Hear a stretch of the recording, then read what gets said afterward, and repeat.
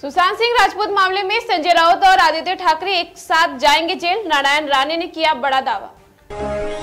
मनसे अध्यक्ष राज ठाकरे ने पुणे के सुतारवाड़ी में मनसे कार्यालय का किया उद्घाटन। एनसीपी सिर्फ़ मराठियों की पार्टी है, भुजबल साहब इस्तीफा दे, पुणे में भुजबल समर्थक हुए आक्रामक। मुंबई से नवी मुंबई की दूरी सिर्फ़ 20 मिनट में होगी पूरी, Mumbai trans harbour link bridge बनकर हुआ तैयार। राज्य में आज भारी बारिश की चेतावनी, जलगांव, नासिक और पालघर जिलों में भी आज भारी बारिश होने का अनुमान। मुंबई में हार्बर लाइन पर बढ़ेगी ट्रेनों की स्पीड, सेंट्रल रेलवे ने उठाया बड़ा कदम।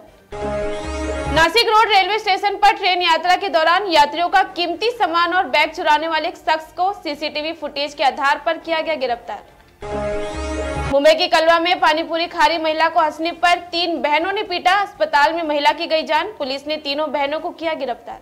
बेमौसम बारिश से मुंबई की वायु गुणवत्ता में हुआ सुधार। मुंबई में अब हवा की गुणवत्ता पचपन ए क्यू आई पहुँचा।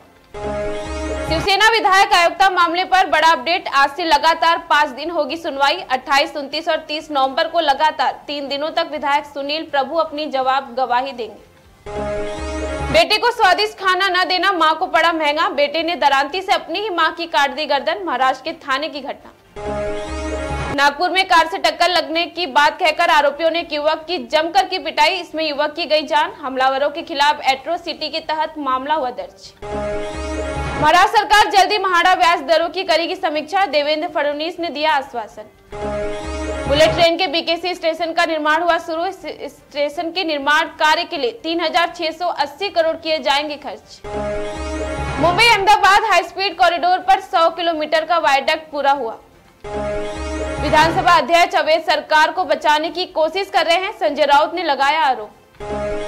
अगर राष्ट्रवादियों ने सरकार नहीं उखाड़ी होती तो मराठा आरक्षण का मुद्दा सुलझ गया होता। पूर्व मुख्यमंत्री और कांग्रेस नेता पृथ्वीराज चौहान ने दिया बड़ा बयान। वर्षों से Dahisar coastal road, Goregaon Mulund link road से जुड़ेगा। एक दिसंबर तक टेंडर जारी करने की की गई अपील। मुंबई में अग्निवीर ट्रेनिंग ले रही महिला ने नेवी हॉस्टल में किया सुसाइड।